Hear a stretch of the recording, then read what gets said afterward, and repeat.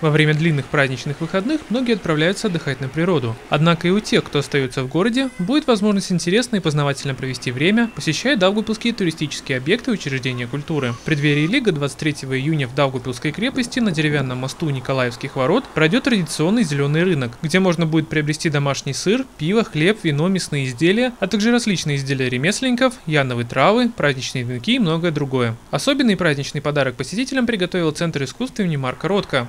23 и 24 июня посетить все выставки можно будет по акционным ценам. Этой возможностью непременно стоит воспользоваться, потому что буквально несколько дней назад, 19 июня, здесь начался яркий летний выставочный сезон, в рамках которого можно посмотреть интереснейшие работы и проекты из разных уголков мира. Практически всю неделю, кроме одного выходного 24 июня, посетители будет принимать Центр культуры и информации крепости и Даугупилский туристический информационный центр, где можно будет получить информацию о туристическом предложении города и заказать экскурсию по Даугупилсу или крепости. Музей Шмаковки также будет ждать гостей каждый день, кроме 24 июня. Даугупилский краеведческий художественный музей и Центр гончарного искусства будут открыты с пятницы 25 июня. По предварительной записи можно посетить синагогу и музей евреев Даугупилса и Латгалии, а также с 25 июня записаться на экскурсию по Даугупилскому дроболитейному заводу. Каждый день с 10 до 16.00 можно посетить также кафедральный собор Мартина Лютера и смотровую площадку на башне храма, с которой открывается прекрасный вид на церковную горку и город. На выходных по Даугаве будут курсировать плоты, лодки и кораблики. Больше информации об этих и других возможностях отдыха на домашней странице туристического информационного центра visitdaugavpils.lv.